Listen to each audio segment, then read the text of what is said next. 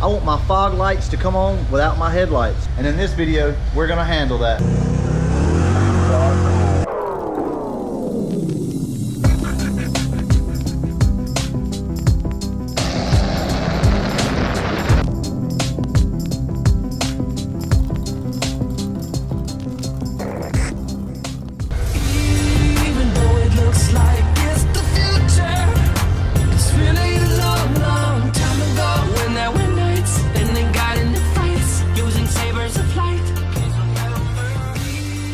You know, I was always taught to give credit where credit's due. So that's what we're gonna do. This is not my idea that you are about to see.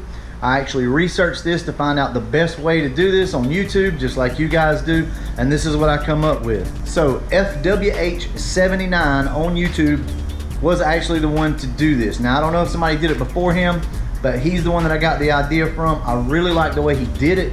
It's super clean, and I think you guys are gonna enjoy this mod. So first off, let's talk about what we've got. As you all know, we have LED headlights in the front of the car. I got those from Amazon. I think they were about 26 bucks or so. And down here for the fog lights, they're just stock. Well, they're not stock anymore. These are aftermarket fog lights, but they have the stock bulbs in them. So as you can see, the top lights are really white and the bottom fog lights are really orange.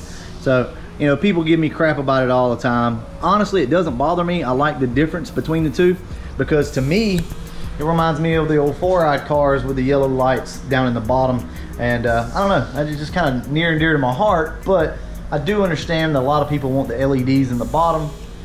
Be warned though, from what I understand, the LEDs that I've purchased don't give off a lot of light. More than likely, if you're putting LEDs in your car, then you already have LED headlights. So really and truly, the fog lights don't help much anyway. They're gonna completely overpower your fog lights. So no problem, as long as you have LEDs up top, I think you'll be just fine doing the LEDs in the bottom. Well, all right guys, let's go ahead and get started. You know, I'm always so unprepared. I swear, I never have my, my stands out here or anything. Let's see if we can hook you guys up with something. All right guys, so I've got you up on this kind of weird mount here uh, so that we can look and see what we need. So first off, let's talk about tools needed for the job. Really, only thing you're gonna need is a test light. And if I'm not mistaken, it's a 5 8 Let me check that right now. Yep, a 5 8 All right, so first off, let's go ahead and look, see what's in the package. I got these items from two different places. First off, you're gonna need an add-a-circuit. I bought this from Amazon. There will be a link down below where you can purchase this. This connector, I'll go ahead and tell you, does have to come off. That's no big deal. Oh, and while we're here, I noticed somebody mentioned something about my knife earlier. Well, guys, if you like knives, I have got just the knife for you. If you're into something like this, check this out. This is the Ganzo Firebird F755. It's 440C steel. Really nice knife. Has the G-lock, which yes was taken from Benchmade, but uh, really good knife. I actually use this in the kitchen a lot. Is that bad? Is that a bad thing? I'm not sure. We've got our add-a-circuit. So it's got a 15 amp fuse in it, and what we're gonna do is put one more 15 amp fuse in it. I've not opened this yet, so I hope it's not damaged. These are the uh, fog lights.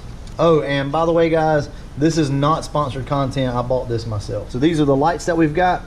Uh, like I said, these come from LMR. I'll have a link down below. And just so you guys know, if you're curious, the fog lights actually ground to the housing, which then ground to the body of the car. So that's why there's only one wire, and ground to the body. So this is it, guys. This is all we need. I'll tell you what, we'll just go to the car and we're gonna find the area that we have to put the add-a-circuit and get power to the actual fog lights. We'll go do that first, then we'll come back and we'll start our install. You wanna make sure that you get your power to your factory fog lights first before you go doing all this. That way you know that your connection's good and it's not an issue with maybe something you did here. Well, all right, see you in the car. From what I can tell, it is going to be one of these. I'll have to check and see. Uh, you just need constant power, so that's all it is. And then I'm pretty sure it's gonna be this fuse here, which will be the fog lights. The best way to tell is to pull that fuse out and check and see if your fog lights work. So let's do that now. And that was the wrong fuse. That's why you always check stuff. Okay, so that is the fuse to the fog lights. So I'll show you exactly which one it was. Um, somebody has put a 30 amp fuse uh, in that position. It does not require a 30 amp fuse. It actually requires a 15 amp fuse. You don't ever want to over fuse anything. Something grounds out, uh, some of these wires are really thin and they can actually burn out before they'll burn the fuse up. So you can always refer to the owner's manual. Um, there's Chilton's out there. There's all type stuff that you can do or just look it up online. Just make sure you put the right amp fuse back in the right spot. This is the fuse that we had to take out right in here. So now what we need to do is find out which side is hot. This side has power, this side doesn't. So what you have to do here is go to the side that doesn't have power. Basically, you're just completing the circuit in the way that the fuse would. So imagine the power coming into this side, it goes through the fuse and it comes out this side. So then it sends power to whatever it is that it needs to go to. We're gonna essentially do away with this side of it and we're gonna supply our own power to this side of the fuse box. So that's what we're doing, guys. All right, so we've got that taken care of. Now we know what we need to do. The problem is this connector obviously will not plug into the slot. So I gotta cut that off. All right guys, so once you get your connector on down here, uh, all you have to do is add one more fuse. The reason that you're adding another fuse is because you're not only going to carry whatever is already on that circuit, you now have to carry the fog lights too. The regular fog lights are rated for 15 amps, so it would be safe to go ahead and put a 15 amp back in here. You could probably get away with a 10 also. What we're going to do now is go ahead and pull out the circuit that we want to pull from and then plug in. Let's see if we can get these fog lights to come on. What you want to do is pull out an always hot circuit like that. Put your new circuit in, which is right here, like that. So that's how it's going to look. Nice and neat, guys. I love that. It's so simple. Let's see if the fog lights will come on by themselves now. And there you go, guys. So that job is complete. See how easy that was? Simply just put your add a circuit in, wire it hot, and you're good to go. I would not do this with the stock halogen style bulbs. I would not do this, guys. That's just me. Uh, maybe some of you guys have done it and you know you can prove me wrong. I do not recommend doing this because that's a lot of load on that circuit. These LEDs are a lot less load. So I would not do this with the stock bulbs. We'll just, I'll leave that there. So I'll put a disclaimer uh, at the beginning of this video do this at your own risk. I will not be held liable. This is just what I'm doing to mine. If you want to do it, there again, do it at your own risk because if you know Fox bodies, the wiring up around the switch panel is not always the best. So now what we have to do is get these fog lights out and put our new LEDs in. And guys, we are done. So right there in the center of the screen is the nut that you have to take off to slide your uh, fog lights out. It's really simple. It's a 5 8 I'm gonna go ahead, pull this off and then we'll look at exactly what it takes to swap out the bulbs. Very, very simple to remove your fog lights, guys. So you just need to pry this up. Um, you gotta be careful though not to bust the fog light. All right, so here is the inside of the assembly. And all you're gonna do is take this piece of metal, this little wire, move it to the sides like that, and bend it back. And what that does is actually release the bulb. Then you're just gonna slide this protective cover back and unconnect everything. So once you get that off, just pull your sleeve off and we're gonna, we're gonna reuse the sleeve on this. But you can see how hot these fog lights get. There's a lot of power that runs through this little circuit.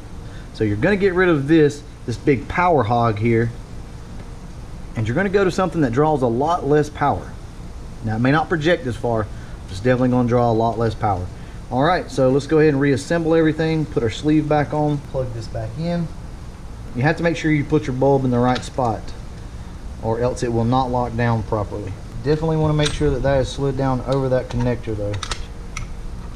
All right, we're just going to reassemble and all you do is connect this piece with that lip, with that, push down, lift up, and everything should snap back into place. What we're going to do now is just plug it up and make sure everything works. So you're just going to put the bolt back into the little slot, the adjusting ring in here. As you can see, your fog lights move around everywhere. This is the time to go ahead and get everything centered up. I don't know if this is centered or not, guys. We're just gonna go ahead and wire this thing up. Cross your fingers. Let's hope that this works. So now you see what I'm talking about with these not being very bright they don't project a lot of light. That's fine guys. It's less load on your circuit in your car. So I would not worry about that one bit. I mean, in actuality, how often do we rely on our fog lights to actually help us see? So I'm gonna go ahead, do the other one, and then we'll have a discussion about it. Well, there you go, guys. We have the LEDs installed. I think they look pretty damn good. So this is a really simple job. Um, you know, it doesn't take very long to do. By all means, just make sure that you use the fuses, you know, you install everything correctly, take your time. Well, all right, here's the LEDs installed. Now we're gonna go ahead, turn the headlights on and see how everything matches up. And there it is. We have our super bright LED headlights. You know what? I've got to admit, that looks pretty damn good. I mentioned earlier in the video, I kind of like the halogen yellow style kind of glow. But you know what? After looking at this, I really like it. Wow, look how far my headlights are out of adjustment. I've got to do some headlight adjusting at some point. And I really need to put my amber lights back in the corners. I'm just gonna put those back amber like they're supposed to be. I just think they look better that way. I don't know, you guys tell me what you think. Do you like that look or do you like the amber everywhere like it's supposed to be?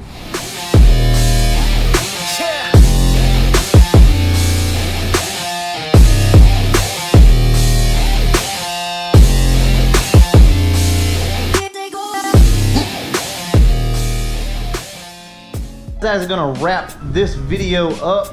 I will be doing an update. I'll post some pictures up on Instagram for you guys. It's getting really late tonight and I've got some stuff I need to do. So, I hope you enjoyed this video. Like I said, please use caution whenever you're doing this mod. And as always, thanks for watching.